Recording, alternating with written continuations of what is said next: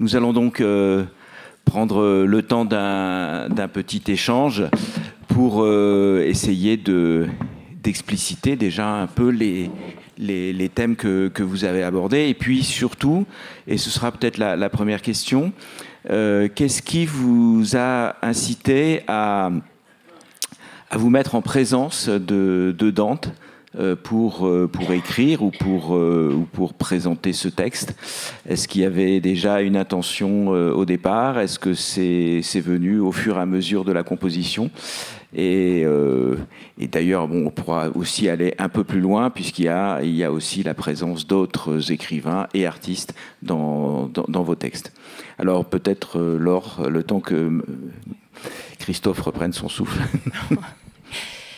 c'est toujours euh, complexe de reconstituer a posteriori ce qui a pu être l'espèce d'embrasement à un moment. Euh, je pense qu'il y a quand même eu un fait divers euh, qui n'est pas dans le texte, qui m'a incité à relire. On relit, on a toujours comme on a en commun ce villon.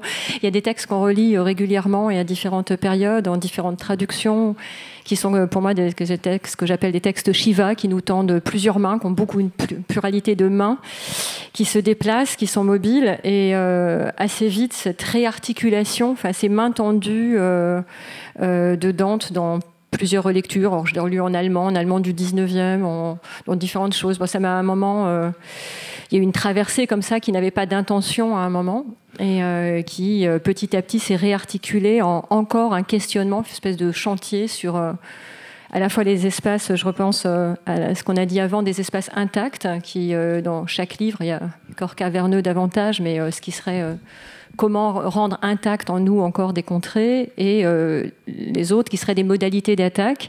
Et ça a été pour moi d'articuler les faits divers qui n'ont presque plus rien de transgressif, contrairement au 19e, de se dire, et si l'enfer, euh, comment peut-on dire, puisqu'aujourd'hui on est baigné sans cesse dans la narration euh, euh, souvent sordide hein, de ce que moi j'appelle la fait diversification de la langue.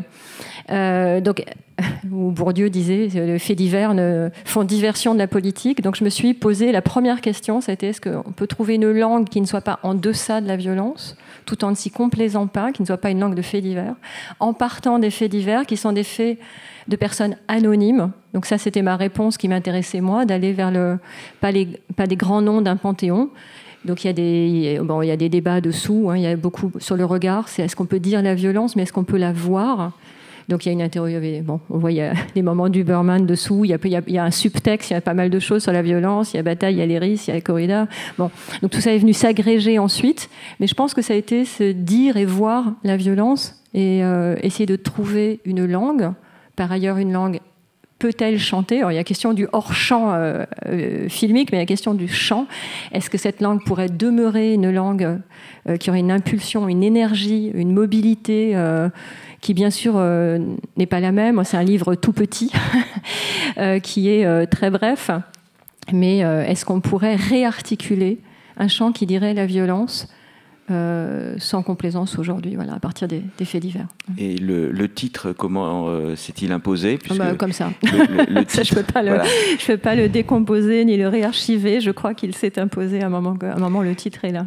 Est-ce que, est que la cité dolente, c'est le, C'est pas la dolente cité, comme la dernière traduction, que j'aime beaucoup par ailleurs. Mais la, la cité dolente, est-ce que c'est ce mouroir dans lequel veut s'ensevelir le celui qui parle, enfin voilà, ou est-ce que c'est euh, notre condition plus, de manière plus générale? Non, alors pour moi c'est ce qui nous ensevelit. Bon, c'est la société de consommation, c'est la nôtre. Hein, euh, Christophe en, parle autrement. C'est le, premier chant euh, et plus un hommage au Décameron. C'est la peste de la représentation, des selfies. Il y a beaucoup la photographie qui revient. Enseveli sous les biens de consommation, c'est notre ensevelissement. Mon prochain livre s'appelle Les Ensevelis. Euh, donc c'est plutôt mon obsession à moi, c'est l'ensevelissement. On n'est pas à la même époque, on est plutôt à dégager des espaces de respiration, faire jachère, comme dit le poème. Donc moi j'essaie plutôt de faire jachère, dire la violence en faisant des espaces blancs, euh, mettre un petit peu de paradis dans l'enfer. Le, euh, le temps, on a, le fait qu'on n'ait plus le temps de lire par exemple ce texte, je ne parle pas du mien, je parle de la Divine Comédie. Donc travailler c'est tous ces endroits-là qui m'ont euh, intéressé. C'est donc un narrateur qui va s'isoler pour avoir le temps de développer les images intérieures qu'il n'a pas le temps de développer et qui est rattrapé que parce que tous toutes les personnes dans l'EHPAD lisent des faits divers et des journaux gratuits. voilà, c'est un petit peu, c'est prendre le temps de l'isolement.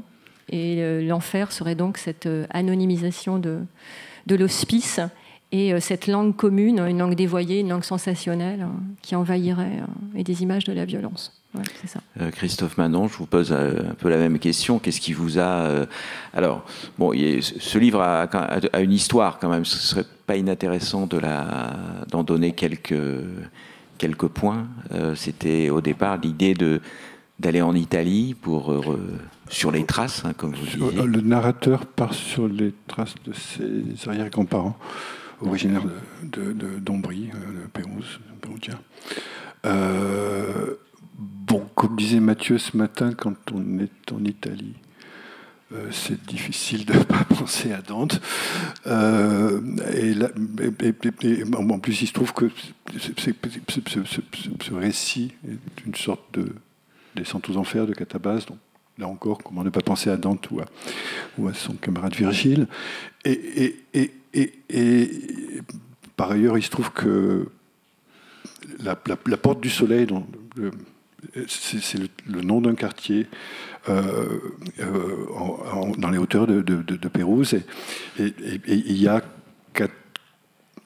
peut-être un poil plus, 4-5 vers de Dante euh, à propos de cette porte du soleil et de, Pérouse. Et, là, où, là où le narrateur séjourne, enfin, c'est à l'endroit, dans l'immeuble où, apposés, où est, où est apposée cette plaque. Bon, voilà. Donc il y avait d'assez fortes raisons comme ça déjà. Première de, de partir avec Dante. Euh, la, Bon, après, si on a deux minutes, après, à un moment, j'aimerais développer une petite chose. Mais en, tout cas, il y a une chose qui, qui, qui, qui s'est imposée assez vite à moi. En fait, ce que, ce que, ce que, ce que, ce que, j'aime beaucoup dans la, dans la Divine Comédie, c'est, ben on, a, on, a, évoqué cette figure, c'est la figure de Virgile donnant la main à Dante. Euh, et je trouve que c'est pour moi un, bah, pas un symbole, mais en tout cas, c'est l'expression même de ce qu'est la tradition littéraire. Euh, voilà, euh, les textes qui nous ont précédés de la main pour nous accompagner sur les chemins escarpés de la littérature et pour essayer de nous donner. Et modestement, ben, le narrateur, du moins, essaie de considérer que Dante lui tend la main et, le suit euh, dans, ce cheminement-là. Oui, alors il y a effectivement une, crise qui est, qu'on, peut assimiler à cette, euh, à cette descente aux enfers. Et, et puis, euh, donc la trajectoire euh, générale peut, faire penser à ça. Et aussi, euh, il y, a, aussi les lieux et l'époque. Hein, puisqu'on est quand même, euh, bon, on a, entendu l'évocation d'Assise, bon, les, les faits qui sont évoqués, je pense à la, la scène de la, vision de, Claire, bon, c'est plus ou moins 10 ou 20 ans avant la naissance de Dante, quoi. C'est à peu près ça. Bon, évidemment, euh, Francesco, enfin euh, François d'Assise, il est, il est évidemment là dans le texte de Dante. Et puis, alors vous-même, vous avez parsemé votre texte de citations, parfois de pastiches aussi de Dante et d'ailleurs d'autres euh, d'autres euh, d'autres textes euh, qui peuvent être Saint-Augustin ou je sais plus il y a beaucoup de monde. il y, a beaucoup de monde il y a beaucoup de monde mais c'est comme en enfer ou dans le paradis hein. il y a du monde. Après moi j'en aime bien aussi il y, en a quelques-uns que j'aime bien dans le paradis malgré tout. Saint-François par exemple est plutôt un mec sympa j'ai l'impression. Mais oui oui bah, c'est un texte qui est tissé à partir d'autres textes, c'est ce que je disais, quoi. Enfin, les, textes de la tradition nous tendent la main pour, pour, pour, pour, les, pour nous accompagner dans l'écriture, je crois, et ça, c'est une chose. Et, effectivement, ce que vous disiez, on, circule aussi, non pas un peu dedans, et en tout cas avec comme on l'a pu l'entendre peut-être un petit peu, avec, avec, avec la, peinture primitive ou, ou du tout début de la Renaissance. Et là aussi, bon, voilà, difficile de ne pas penser à Dante quand on est euh, à travers ces tableaux-là. Quoi. Oui, oui, en, plus, effectivement, la, basilique euh, d'Assise, enfin les deux basiliques d'Assise sont, sont d'abord euh, couvertes de peintures extrêmement célèbres dont vous, sur lesquelles vous vous appuyez, et, et, puis d'autres aussi. Et, ce, qui est, ce qui est aussi euh, intéressant, c'est là on était donc euh, sur euh, Assise et il y a cette espèce de, pastiche de texte de, de hagiographique hein, de Vitsin pour une manifestation de, partisans de, Salvini. Bon, ça veut dire qu'il y a, plusieurs régimes aussi, d'intégration des textes du passé. Bah, c'est aussi le côté un peu politique. De, enfin, c'est aussi là qu'on peut retrouver un peu Dante. Enfin, moi, je me suis dit, en fait, les, figures, les, figures de, notre siècle, quoi, eh ben, en fait, la place, en fait, celle-ci, en tout cas, les figures du pouvoir de notre siècle, la place qu'elles méritent, c'est celle qui est toujours en fin des légendes dorées, quoi. C'est celle, c'était au siècle de trucs, à l'époque de machin. Voilà et c'est pas plus. Et, en fait, c'est le plaisir aussi. Alors, je ne sais plus qui en parlait ce matin. Le plaisir, je crois que c'est Mathieu, encore une fois, de, de, de, de, prendre les figures du pouvoir et de leur attribuer leur, leur, place légitime. Voilà, donc on peut, on peut par, si on est un tout petit peu pervers, on, on pourrait trouver une bolge euh, réservée à Matteo Salvini. voilà, euh, voilà s'il y avait un continuateur, il y a eu plein de continuateurs de Dante, mais voilà, il ne pourrait y en avoir un qui lui. Ce, n'est que purement euh, littéraire. Oui, oui, oui, oui, oui, bien sûr, bien sûr. Voilà, on est tout, tout, tout, ça relève de la fiction. Euh, alors, il y avait euh, la, question du, fait divers et, du, et, du texte euh, tel que vous l'avez tel que vous l'avez lu. Bon, alors, on n'a pas forcément euh, perçu euh, de façon très très claire qu'il y avait là aussi plusieurs euh, statuts du texte dans, le, dans, le, dans, dans, la cité d'Olente. Il y a un moment où vous avez fait un effet un peu radiophonique, je ne sais pas.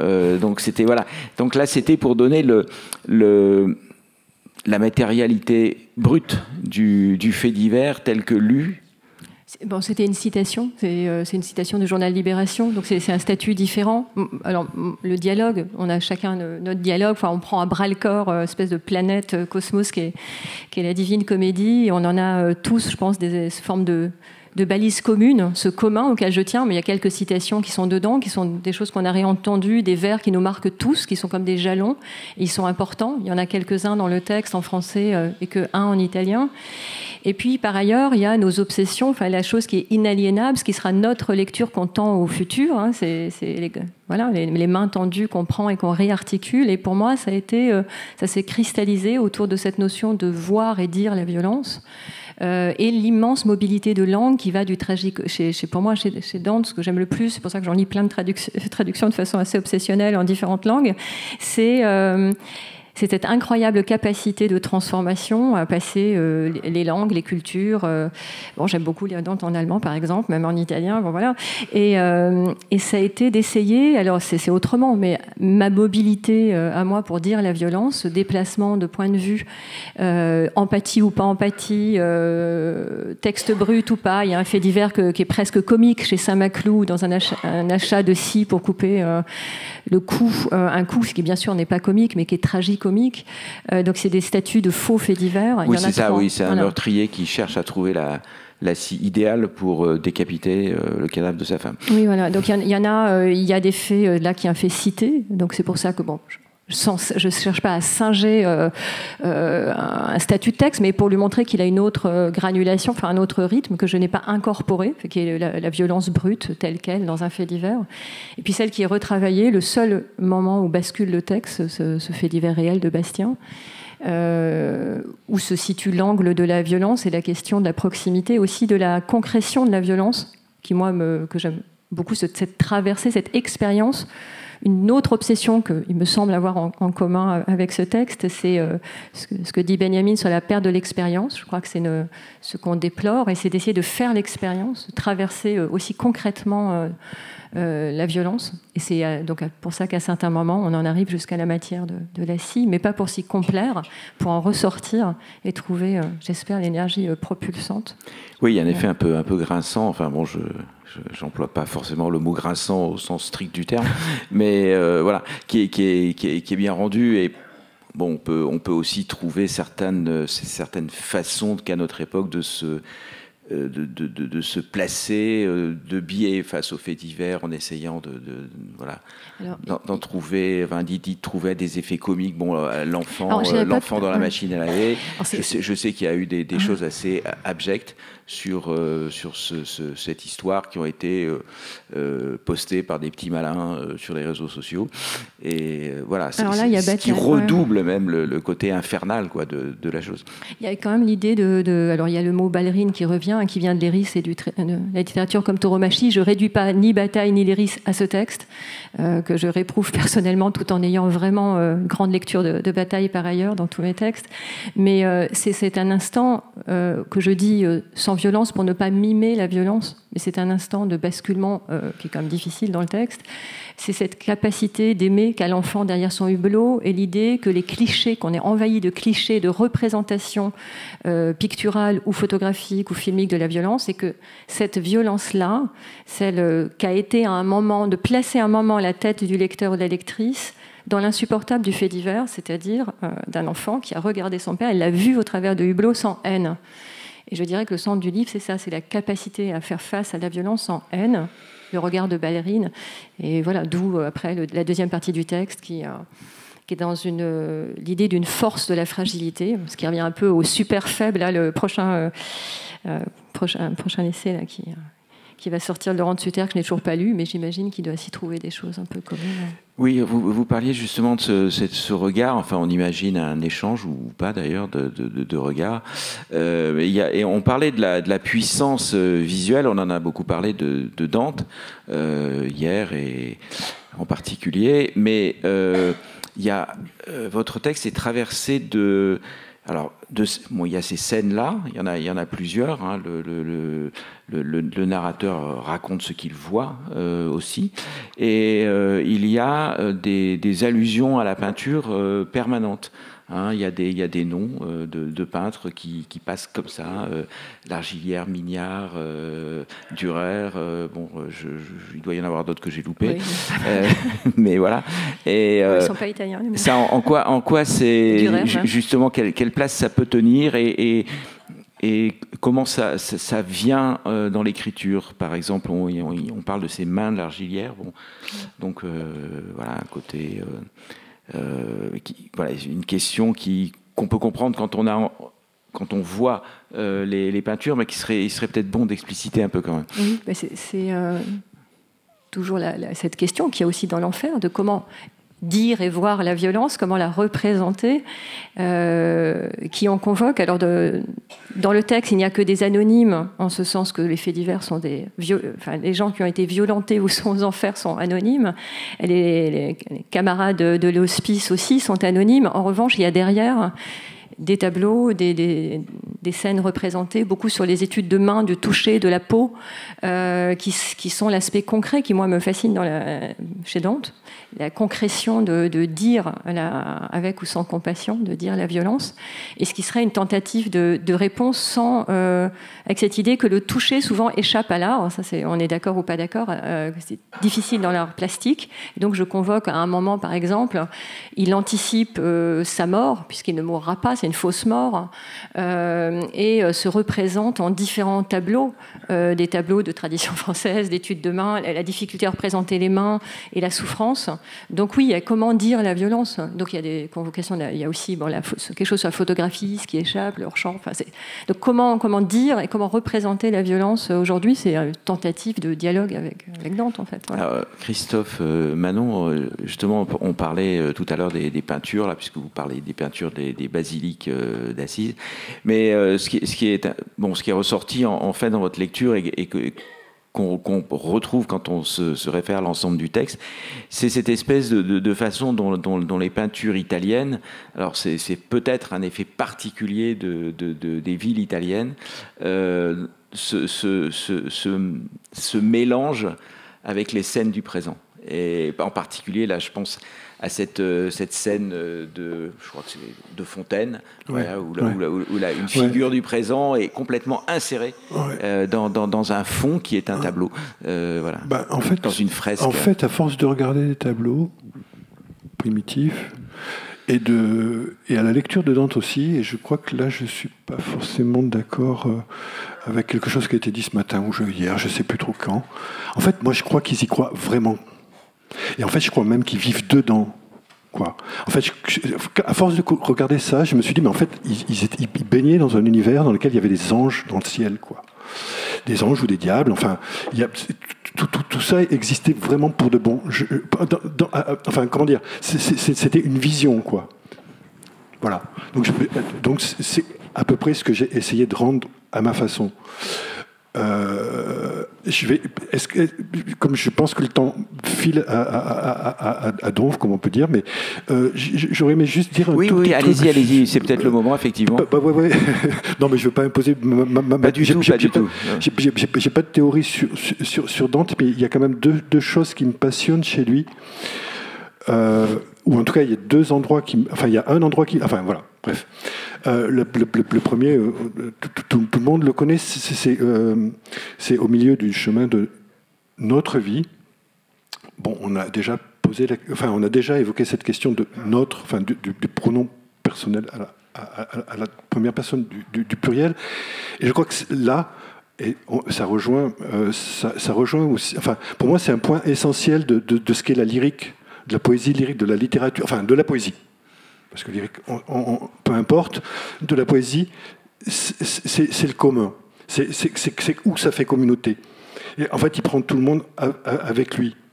Exactement comme, pardon, c'est euh, exactement comme, comme, comme, comme, euh, Villon le fait en, en, ajoutant l'adresse, pratiquement, c'est frères humains qui après nous vivraient. En fait, voilà, le geste littéraire, le geste poétique est un geste d'adresse à l'ensemble des semblables, à mes yeux, c'est pas euh, pour faire communauté.